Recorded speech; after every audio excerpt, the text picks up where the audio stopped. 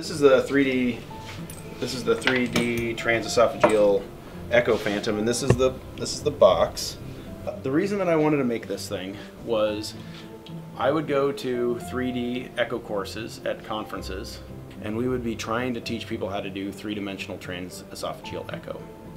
One of the one of the needs that I think this is a this addresses is that in those meetings we often try to show people how to acquire 3D images using transthoracic, which is not what they're going to be doing clinically. They're going to be doing transesophageal, but we can't get human models that allow us to put the echo probe in their esophagus in practice.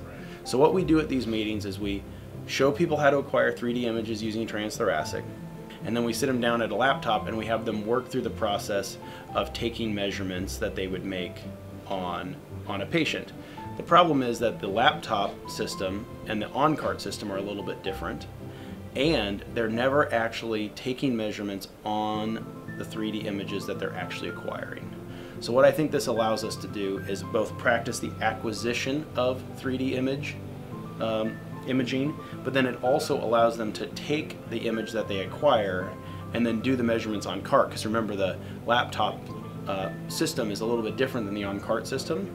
And so they can become facile at the laptop system and they can still feel a little clunky when you're on cart because the programs are not exactly the same. They do the same thing, but the button pushing or the way they interact with the machine, say instead of a mouse, they use the roller ball and the side buttons here, that can be a little bit different. And so, and so being able to actually practice this on cart is helpful. The third thing is that there is an assumption that as the expert I am right and that as the trainee that if there's a discrepancy between the expert and the trainee that the trainee is wrong. And unfortunately we don't have a great way otherwise to quantify that. The assumption would be that I am right because I'm more experienced and that they are wrong.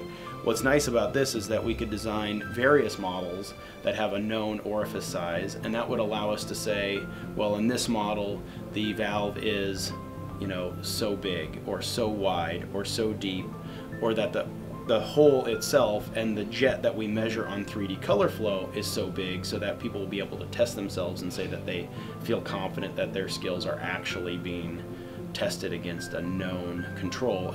So the assumption is just that I'm right, and I think that that's I think there's a potential for error in the training process, uh, especially if for some reason the person who is acting as the teacher made a mistake or had an error in their measurement.